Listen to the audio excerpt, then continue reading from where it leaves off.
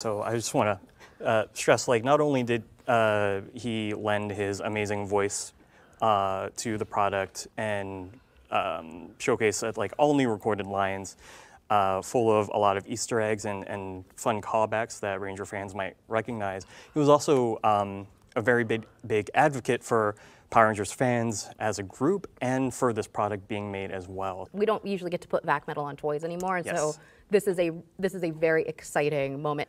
Slide your fingers in, button on the side. Crystal powered morpher. Seal 5, activate.